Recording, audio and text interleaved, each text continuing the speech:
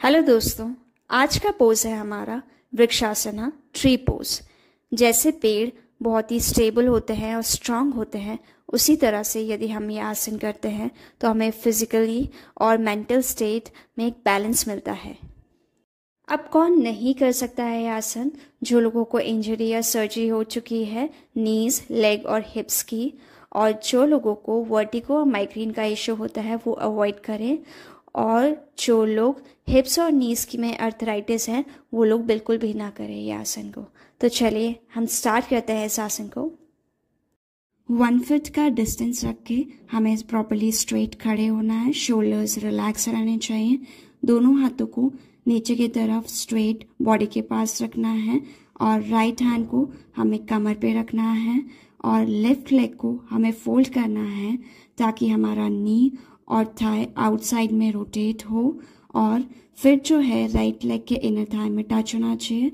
To नीचे की तरफ़ पॉइंट स्ट्रेट होना चाहिए वेस्ट लाइन स्ट्रेट होनी चाहिए और दोनों हाथों को हम नमस्कार मुद्रा में रखना है।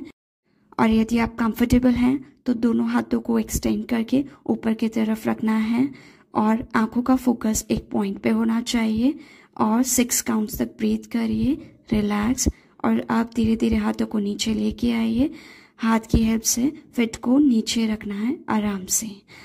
काफ़ी सारे लोग होते हैं जिनको एक पैर पे खड़े होना मुश्किल होता है इनिशियली तो हम वॉल का सपोर्ट भी ले सकते हैं तो हम बैक सपोर्ट भी ले सकते हैं और साइड में भी सपोर्ट ले सकते हैं। Benefits of Vrikshasana leg hips back core arm और शोल्डर को स्ट्रेंथन करता है और बहुत ही अच्छा स्ट्रेच देता है। ये आसन करने से लंग का कैपेसिटी बहुत बढ़ता है तो लंग्स इफ़िशेंटली यूज़ होते हैं। ये आसन करने से अवेयरनेस और कंसंट्रेशन बढ़ता है बॉडी का, और क्योंकि एक हिप ओपनर है तो कोर मसल्स का एंगेजमेंट होता है, उसका इम्पैक्ट इंटरनल ऑर्गन्स में पड़ता है। तो ये इनफर्टिलिटी इश्यूज़ के लिए और हार्मोनल इनबैलेंसेस के लिए बहुत ही अच्छा होता है।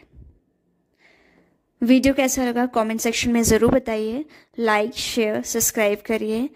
Thank you.